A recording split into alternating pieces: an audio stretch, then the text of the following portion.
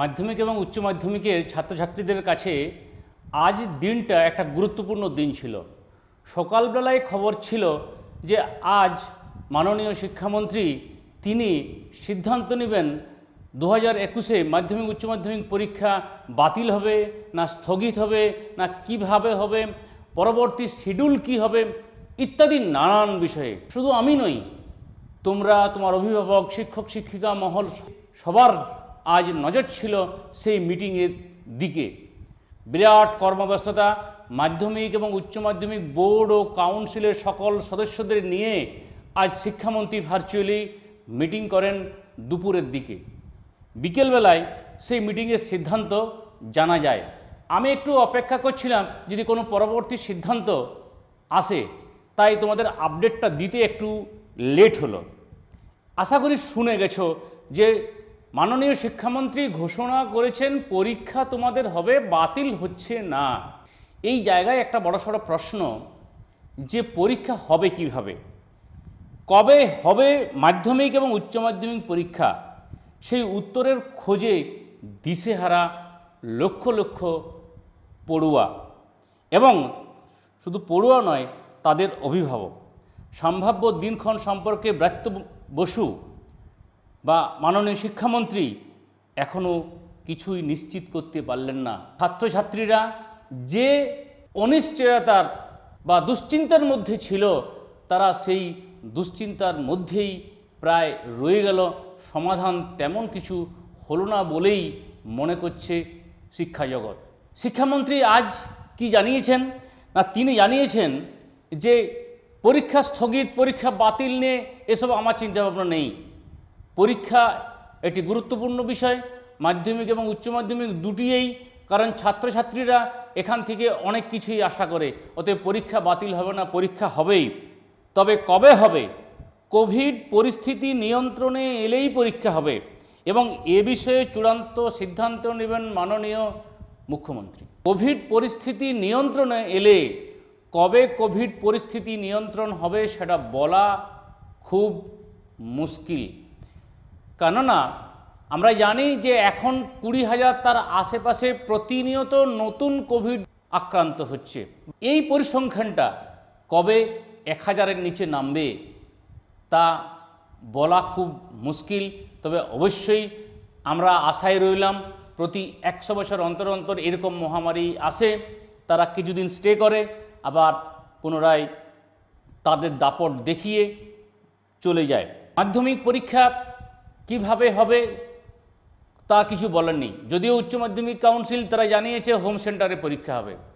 কিন্তু মাধ্যমিক কীভাবে হবে এই নিয়ে কিন্তু ব্রাত্য বসু বা মাননীয় শিক্ষামন্ত্রী কিছু জানায়নি। তো তার কথায় একটা আশার আলো দেখতে পাচ্ছি যে অফলাইনে গিয়ে পরীক্ষা দিতে হবে না অন্য কোনো বিকল্প ব্যবস্থা হবে? অর্থাৎ তিনি বলছেন যে ছাত্রছাত্রীদের নিরাপত্তার স্বার্থে, অর্থাৎ স্বাস্থ্য আগে, তারপরে বাকি দিক সেটা মাথায় রেখেই কিন্তু পরীক্ষা হবে।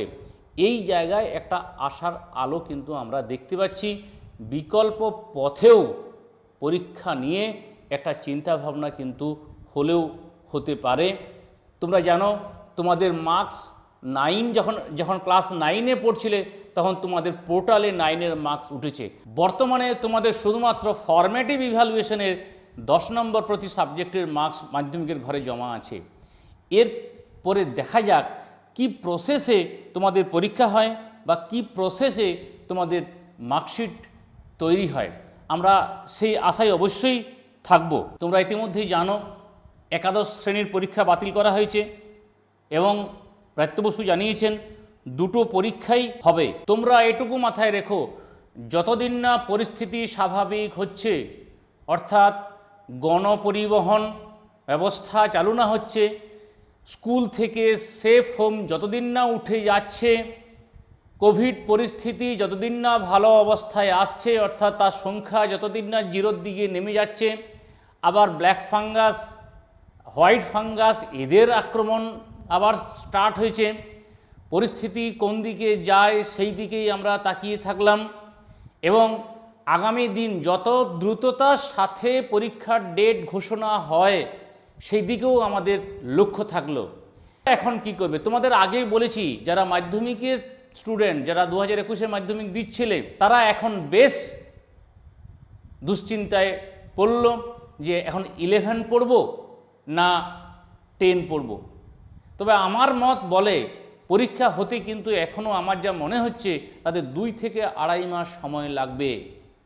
এমত অবস্থায় যারা সর্বভারতীয় ক্ষেত্রে নিজেদেরকে তাদের মানে উন্নীত করার কথা ভাবছ, তারা অবশ্যই ইলেভেনে সায়েন্স নিয়ে যারা পড়বে বা সর্বভারতীয় ক্ষেত্রে প্রতিযোগিতায় থাকবে, তাদের পরবর্তী ক্লাসের পড়া কিছুদিন চালিয়ে যাওয়া ভালো।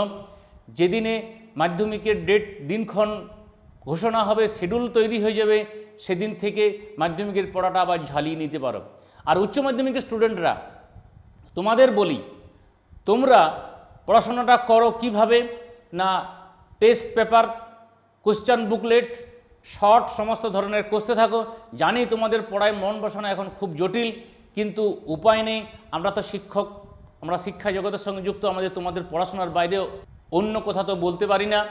তাই তোমরা তোমাদের পড়াশোনা চালিয়ে নিয়ে যাও। সকলকে ভালোভাবে থাকার আবেদন জানিয়ে, সকলকে শুভেচ্ছা জানিয়ে আজকের এই অংশটুকু শেষ করলাম।